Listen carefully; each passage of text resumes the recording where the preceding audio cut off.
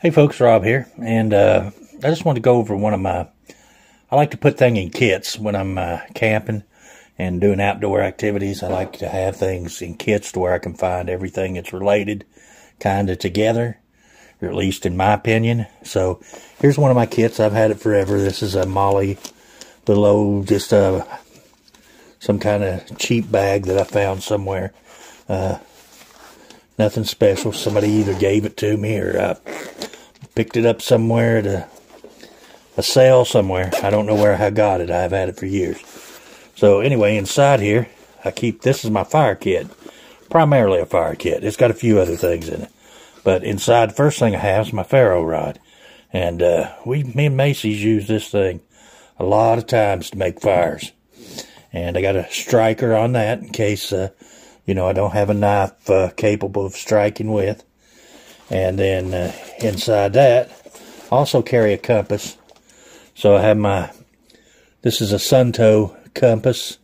I don't know how it got that big air bubble in it, but it's got an air bubble in it.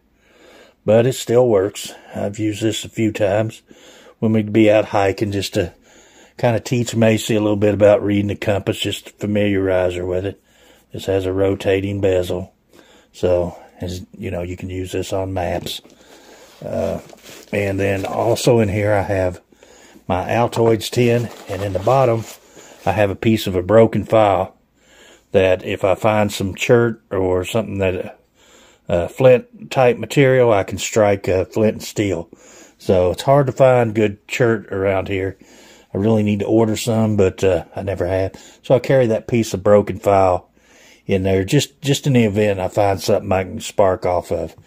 And inside my Altoids tin, which I keep wrapped with these three Ranger bands, which are, which are just old uh, inner tubes that are cut into rubber band sizes, I have some char cloth.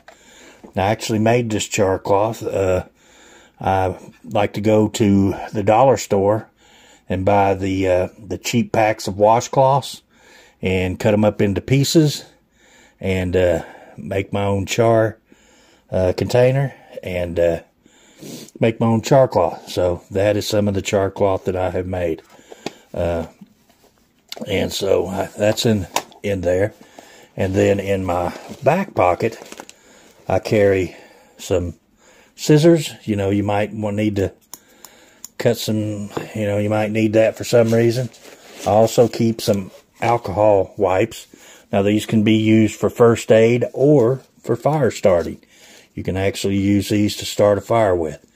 They'll, if you tear them apart and fluff them up, use your flint or your ferro rod. Uh, I did have a lighter in here, but I've taken it out. Also keep a couple zip ties. And in here, I have a small kit with a Ranger band. Now this is this is really a sewing kit, but it's also could be used for fire starting. Because inside here I have some some hemp string and a piece of wax and a couple needles. Now, if you had to, you could shave off some of this wax and use this as fire starting. You could use the string uh, to start fire. So this is kind of multi-purpose. It is a sewing kit, but it is also part of my fire starting kit.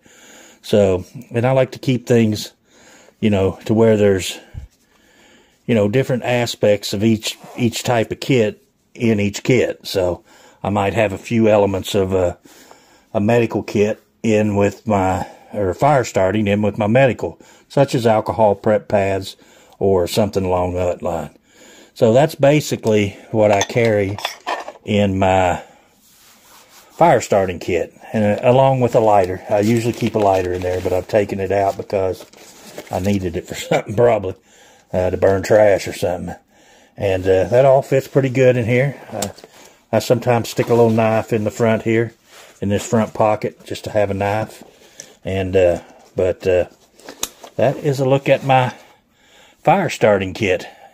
So anyway, guys, I just thought I'd brought, bring you along and let you look at that other than a lighter, if there's anything in there you see that I should probably have in that, leave it in the comments below. You know, uh, I'm always open for suggestions of what uh, what a good kit should carry. Keep it all together. So, Anyway, guys, appreciate you watching. And until the next video, we'll see you later.